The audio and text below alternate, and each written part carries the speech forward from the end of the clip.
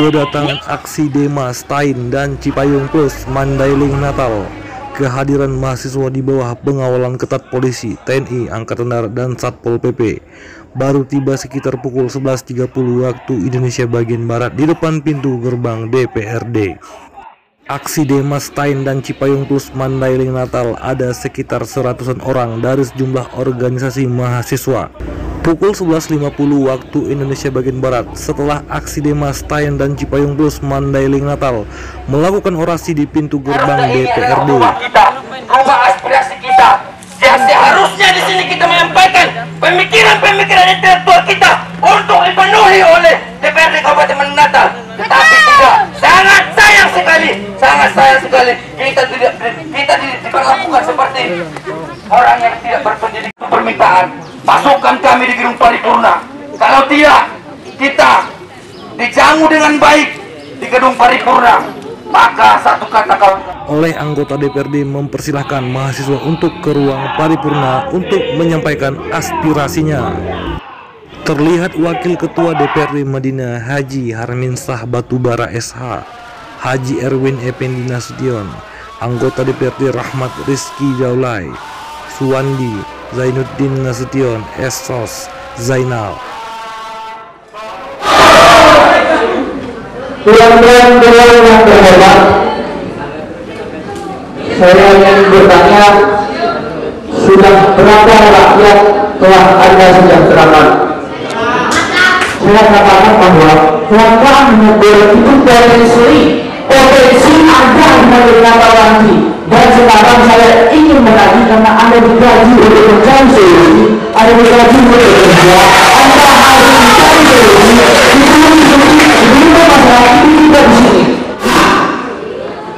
Disepakati oleh anggota-anggota dewan yang telah membuat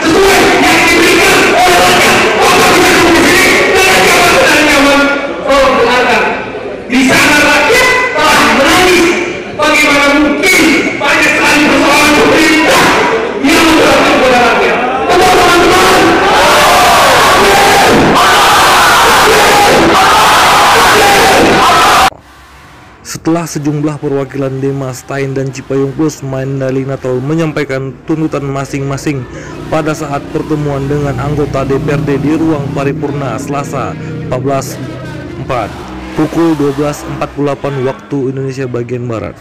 DPRD sepakat akan membuat rekomendasi tuntutan mahasiswa ke DPR RI hari ini juga. Adapun tuntutan Dema Stein dan Cipayung Plus antara lain dari mahasiswa Stein menuntut pemerintah untuk menstabilkan harga dan menjaga ketersediaan harga bahan pokok masyarakat dan menyelesaikan permasalahan ketahanan pangan lainnya. Menolak kenaikan PPN atau pajak pendapatan nilai. Tolak tiga periode masa jabatan Presiden Republik Indonesia.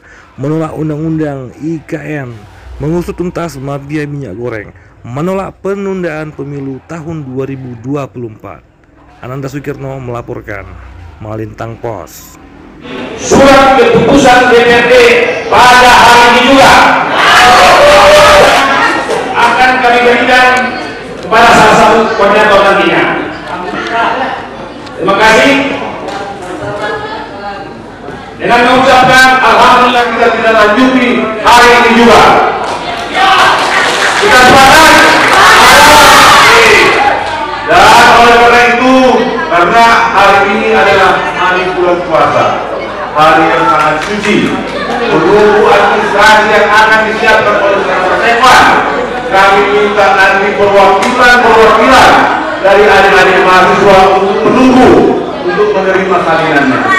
Dan yang lainnya kami harapkan sudah bisa dapat bubar dengan tertib karena tadi kita juga masuk ke situ rakyat ini dengan tertib kami harapkan kita bubar juga dengan tertib sembari menunggu salinan yang akan kita sampaikan ke pemerintah pusat dan akan kami tanda tangani hari ini juga. Sepakat? Baik, kalau kita sudah sama-sama sepakat, saya sudah Jangan lupa subscribe